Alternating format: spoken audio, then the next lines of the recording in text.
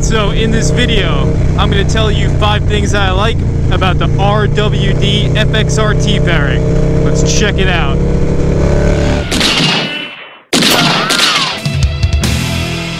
What's going on YouTube? BK Low is back in the building. Picking this up from a from a beautiful ride with the road captain, Jared, aka The Pants, aka Edge Landscaping, and my main man, Vongus Flop. And a lot of you have been requesting this video ever since I did the 2020 upgrade video, where the star of the show was this FXRT fairing. But I wanted to wait until I put a good amount of miles on the fairing to really start telling you my thoughts and what I like about it and whether if it was worth it, etc. And you can see, I don't know if the video is picking it up, but we're about to hit 800 miles. So, you know, we're almost at about a thousand. I feel like that's enough for me to give you a pretty good review on this fairing. And also, mind you, I've ran the fairing at this point in various different scenarios. I've ran it through the rain, up in the mountains like this, in the urban setting, through through in and out of Brooklyn, through heavy traffic, highway miles. I've run it through all the different environments at this point to give it a really fair review. And I probably dropped my first impression videos where you watch me pick up the bike from the shop and just hear my initial thoughts on the fairing from the first time I pick it up. And I don't know, first impression videos from moto motovloggers, I feel like they're all kind of the same vibe where it's a lot of excitement, it's nothing but good things to say, you know, like, have you ever found a motovlogger who did a first impression video either on a bike that they bought or a part where they're just totally disappointed and regretful? I don't think that exists thanks to um, YouTube and Instagram where we're fortunate enough these days to be able to do a lot of research into the bikes that we choose and the parts that we choose. So when you do make the upgrade, I'd say there's probably a very high satisfaction rate in the year of 2020. But my thoughts now are a little bit more refined than my thoughts on the day where I just picked up the bike, so figured this would be a good time to tell you guys that since so many of you have asked me to do this video. Oh man, look at this beauty right here. Look at this beauty. I know it's off topic, but come on man. Only the Catskills are gonna offer you a beautiful shot like that.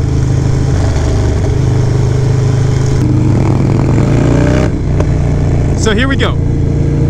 Thing number one that I like about the FXRT fairing is how it performs in high speeds.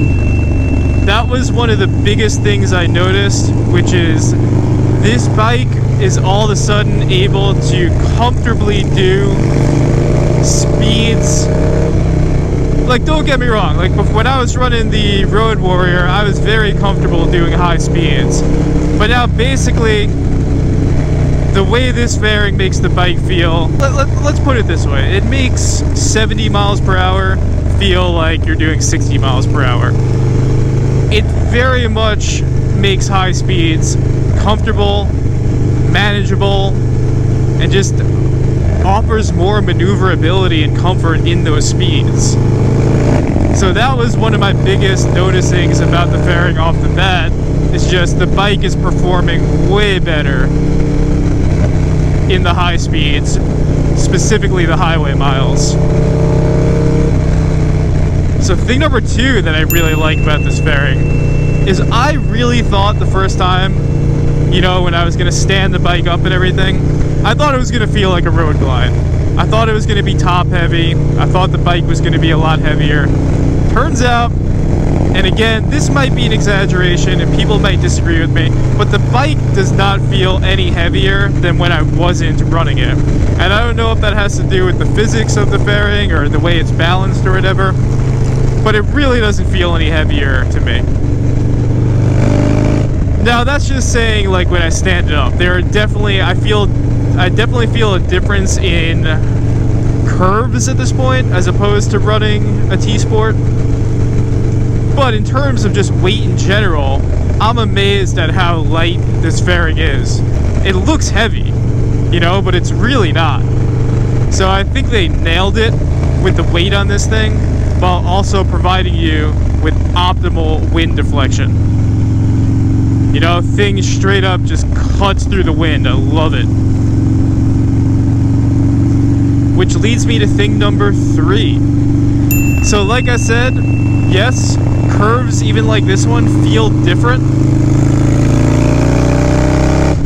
But it has not prevented me from carving out any twisties like I would do with my T-Sport. So I really like how the fairing handles in the curves. Again, it definitely feels different, you know, and I'll do a separate video telling you how, like, the exact differences between this fairing and a Road Warrior for anyone that's interested. But again, the fairing is not a hindrance in terms of uh, carving out twisties. Dude, look at this. It's like a, what is this, a run? So many bikes! When will it end? How are there this many bikes and a Corvette? oh. So yeah, I love the way the fairing performs in the curves. Thing number four that I really like about this fairing is I like the fact that it offers you so many different routes to go in terms of customizing it. Some people like to install speakers here. That's not the route I'm going with it, but you could do that if you want to. Like my buddy Retro Jones has speakers in his. Some people install the pod, the pod lights that go in the vents on the bottom there. I, I actually really like that look. I might consider doing that. As well as it is nice to just get that much extra lighting. So I think the pods might be something that I, I consider. You could throw lowers on here, which I do have lowers, but I'm still on the fence of if I want to actually throw them on or not. That's probably a separate video where maybe you guys can give me some insight on that decision you know, you could play with the windshield. I know Klock Werks makes a windshield for FXRT fairings that, you know, gets pretty good reviews. So I just like the fact that there's just so many different ways that you could go. You know, when I see, when I look at bikes with FXRT fairings on Instagram, it's very rare that two back-to-back -back are set up the same way because there's just so many different routes that you can go with it. So I like the fact that it's really customizable. Alright, so thing number five that I like about the FXRT fairing is I like the fact that it integrates a 7-inch headlight. If you saw my uh, 2020 upgrade video, I didn't actually know that when I bought it, so I had to re-buy the FlyEye in 7 inches. But man, do you get so much more lighting, and does it really give the bike just such a bigger presence on the road in terms of visibility. So I love the fact that we're able to run this bigger 7 inch headlight on this. You know, it's awesome. Definitely dig any extra light where we could throw it in there.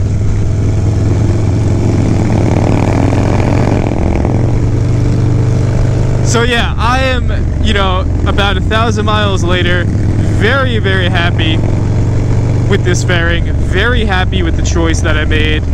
I knew I was going to like it from the research that I did and from the type of riding that I do. It 100% matches my riding style. So who do I recommend this fairing for?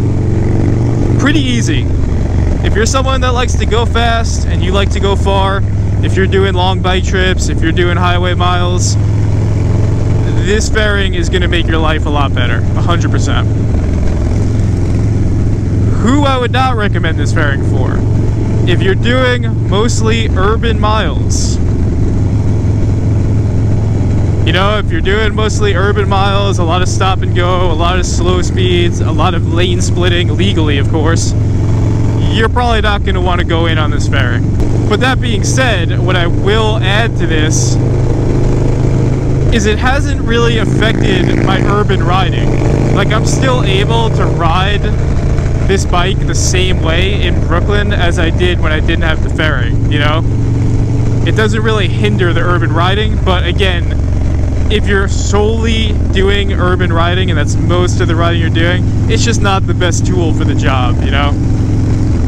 You're gonna wanna go with like a gauntlet or a road warrior.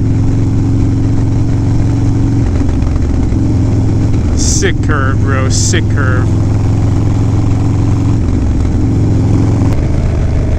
Another huge squad of bikes. Very cool, my people, very cool. Love that people are getting out there and riding. But, you know, it is a fair review, so I'm not just gonna stand here and, like, sugarcoat this thing. There are some things that I think can be improved in terms of this fairing. One improvement that I would make, and again, I take responsibility for this before I even say this, but basically, I had this I, I had this fairing shipped. I never opened it.